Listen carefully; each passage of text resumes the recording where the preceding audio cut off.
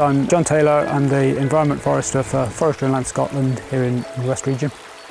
Scotland's rainforests have been here for a long time, kind of pre-1750, um, so that longevity of, of, woodland cover allows the, the natural ecosystem to, to thrive and, and maintain itself. Um, the clean, moist air on the west coast of Scotland, the high levels of rainfall we get um, are brilliant for, for lichens and bryophytes and all the other species that depend on them. Here in Knapdale we've got three species of deer, red, roe and sika.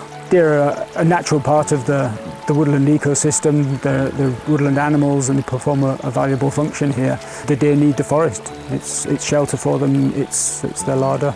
Um, but if we have them in, in too high densities and too many, they are browsing off more tree seedlings and saplings than can naturally replace themselves.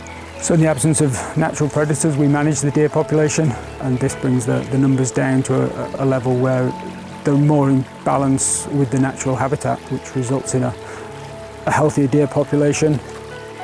Deer management provides local employment through our, our, either our staff as wildlife rangers um, or deer contractors. Um, it reduces traffic accidents on the roads, um, even reduces methane emissions and, and there's a greenhouse gas from the, the digestion.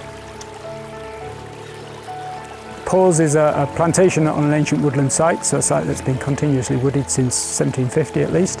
Um, back through the, the 50s, 60s, 70s and even into the 80s, um, they were planting up with, with commercial conifers for a, a timber crop. Um, and since then we've, we've realised that that was a mistake, um, that the, the loss of biodiversity that has resulted from that um, so we're now trying to restore them.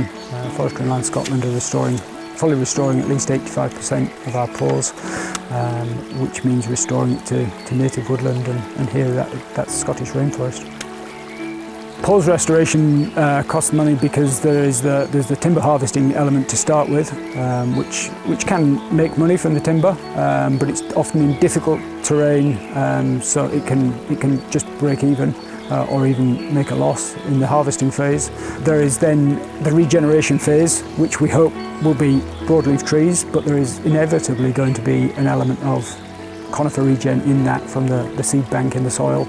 Um, and we need to control that over the following five to 10 years um, to make sure that that conifer regen doesn't take over and swamp the, the ground flora and, um, and regenerating tree species. I'm optimistic for the future here in, in Knapdale and we're on the right trajectory. Um, we can't let up, um, things are on the cusp.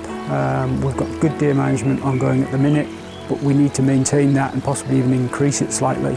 Um, in other areas, we need to get to the level we are at here to keep the, the pressure up.